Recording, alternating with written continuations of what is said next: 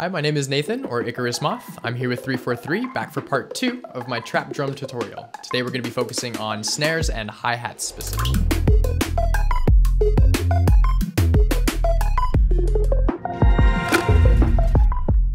For the snare, I actually grabbed one of my kick drums and copied it onto one of the pads of the snares.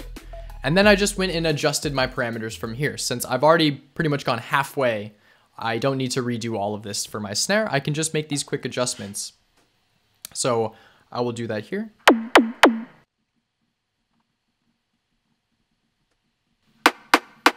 Okay, now this is mighty rudimentary and very quick, but all I really adjusted was the first oscillator I fixed to a very specific frequency, which means if I were to throw a different note into the drum rack, like I had set for our kick drums, it doesn't matter what I set this to, it will always play the same pitch of sound because I have the main oscillator fixed to a frequency.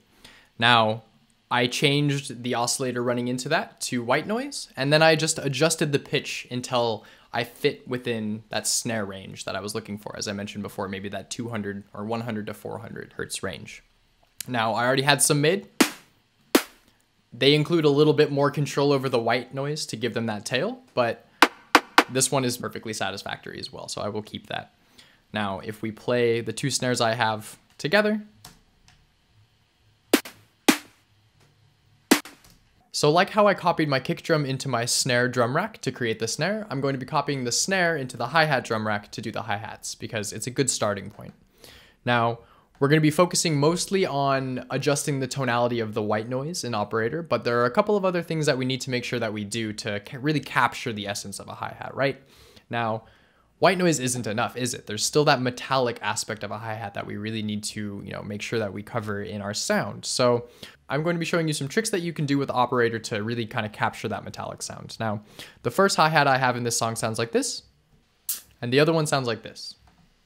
Now, the part in the first one that gives it that metallic ring is actually what's happening between the first two oscillators here. So A is just my normal sine wave to create the shape of my sound, and B is what's really giving it its tonality. So I've cranked the frequency of B way high, so it's a really, really high pitched sound, and I'm running it entirely through oscillator A. So if I get rid of my white noise oscillator, which is C, it gives us this sound, which is really the metallic part of the hi-hat. And then when I add the white noise back in, it covers the rest of the hi-hat, right?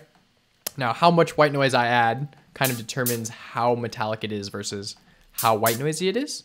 So I put it all the way up, but it's going to be to taste, you know, depending on what you're looking for. Now, the second hi-hat is my closed hi-hat. Now, this is the one that's important for doing the rolls, you know, hi-hats do kind of follow like almost like a rap top line when it comes to trap music. So it's important that this one, you know, sounds right and sits in the mix well. So mine sounds like this. And I don't have anything really crazy going on in the operator here, but if I play my hi-hat track back, I think you'll notice something very special going on with those ones in particular.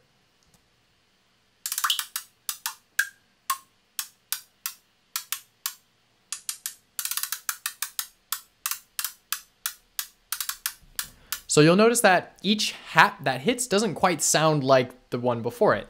And that's because I'm actually automating the frequency of a frequency shifter.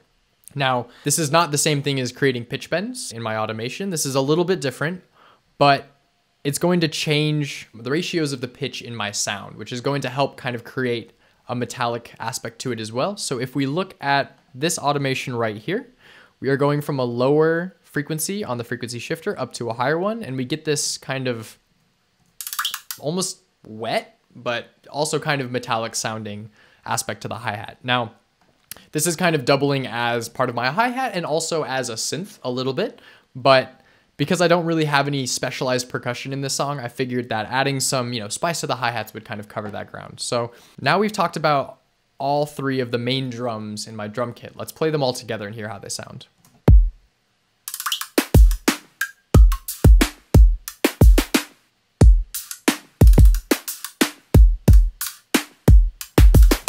Not bad, right? Hopefully you feel comfortable designing your own hats and snares in Ableton now. If you want to see any more tutorials from us, subscribe to the channel. If you're interested in taking courses online or here in New York City, click the link in the description. I'll see you in the next video.